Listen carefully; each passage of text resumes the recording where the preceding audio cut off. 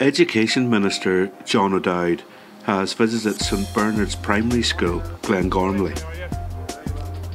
St Bernard's recently exited the department's formal intervention process following an inspection report rating the educational provision in the school as very good.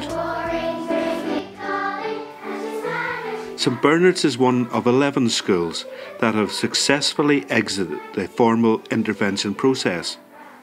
The process is about ensuring schools are supported to making the improvements necessary to safeguard children's education.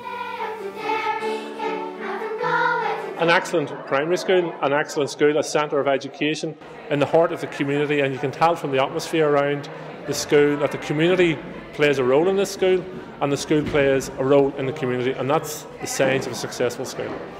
The formal intervention process was never about stigmatising schools. It was about identifying the challenges individual schools face and the, and the difficulties that individual schools face and rectifying those and bringing in the support mechanisms to assist schools to come out of the formal intervention process. St Bernard's and 10 other schools have shown that you can work your way through the formal intervention process. I can understand why schools may be downhearted when they're identified and go into the process. They may wonder, well, where has it went wrong? Is it a personal criticism, etc., etc. None of those are important issues at the end of the day. What is important is the education of the young people in the school. The formal intervention process offers support around that. St Bernard's and 10 other schools have worked their way through it, so it can be done.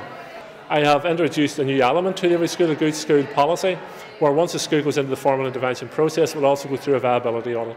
The viability audit will assess as to whether that school is viable to go into the future. And that's an important element because we want to ensure that our schools are fit for purpose and that the education of our young people is primary to any decision making we make. So that, that will be an important element of going into the future.